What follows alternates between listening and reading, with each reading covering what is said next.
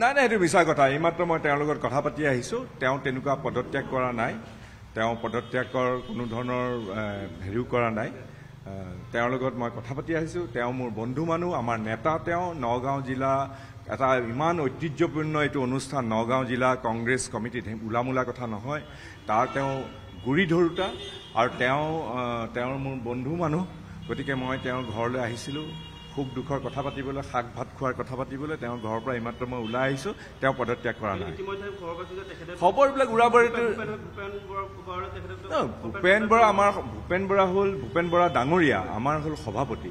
সভাপতিয়ে মাতি সভাপতিয়ে মাতি চবকে মাতিব মোকো মাতিব তলব কৰিব পাৰে।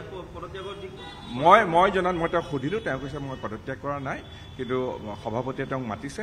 আৰু সভাপতিৰ সেইটো এক্টিয়াৰ আছে আমাৰ ষ্টেটৰ সভাপতিয়ে জিলাৰ সভাপতিক মাতিছে তাত ক'ব লগা কিটো আছে। তেওঁ যাব নহয় নহয় নহয় সেইবিলাক অমূলক সেইবিলাক মানে কোনোবাই এইটো উদ্দেশ্য প্ৰণোদিতভাৱে এইবিলাক কথা হেৰি কৰে। সুৰেশ বৰা ডাঙৰীয়া আমাৰ নগাঁও ঐতিহ্যপূৰ্ণ মই আপোনালোকক এটা কথা কৈছোঁ। অসমৰ মহাত্মা গান্ধী ডাঙৰীয়াই মহাত্মা গান্ধীয়ে আমাৰ নেতা মহাত্মা ঊনৈছশ একৈছ চনত আহি নগাঁৱৰ আমোলাপট্টিত থাকি এই নগাঁও জিলা কংগ্ৰেছ কমিটিখন প্ৰতিষ্ঠা কৰিছিলে ঊনৈছশ একৈছ চনত। গতিকে এইখনৰ সমান নগাঁও জিলা কংগ্ৰেছৰ নিচিনা এখন ঐতিহ্যপণ্ডিত ঐতিহাসিক জিলা কমিটিৰ তেখেত সভাপতি আৰু এই সভাপতি পদত সুৰেশ বৰা ডাঙৰীয়া থাকিব। আৰু তেখেতে আমাক নেতৃত্ব দি পেলাই আমাৰ দলটোক আগুৱাই লৈ যাব। নাই নাই সেইটো মিছা কথা। এইমাত্ৰ মই তেওঁৰ লগত কথা পাতি আহিছোঁ। তেওঁ তেনেকুৱা পদত্যাগ কৰা নাই। তেওঁ পদত্যাগৰ কোনো ধৰণৰ হেৰিও কৰা নাই।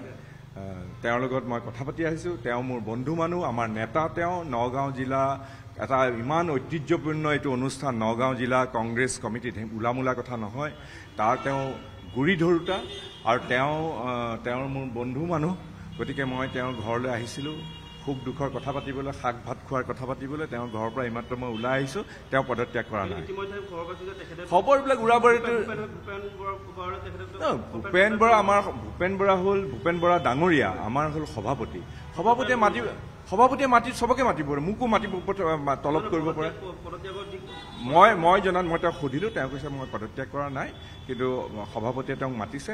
আৰু সভাপতিৰ সেইটো এক্টিয়াৰ আছে আমাৰ ষ্টেটৰ সভাপতিয়ে জিলাৰ সভাপতিক মাতিছে তাত ক'ব লগা কিটো আছে। তেওঁ যাব নহয় নহয় নহয় সেইবিলাক অমূলক সেইবিলাক মানে কোনোবাই এইটো উদ্দেশ্য প্ৰণোদিতভাৱে এইবিলাক কথা হেৰি কৰে। সুৰেশ বৰা ডাঙৰীয়া আমাৰ নগাঁও ঐতিহ্যপূৰ্ণ মই আপোনালোকক এটা কথা কৈছোঁ। অসমৰ মহাত্মা গান্ধী ডাঙৰীয়াই মহাত্মা গান্ধীয়ে আমাৰ নেতা ঊনৈছশ একৈছ চনত আহি নগাঁৱৰ আমোলাপট্টিত থাকি এই নগাঁও জিলা কংগ্ৰেছ কমিটিখন প্ৰতিষ্ঠা কৰিছিলে ঊনৈছশ একৈছ চনত।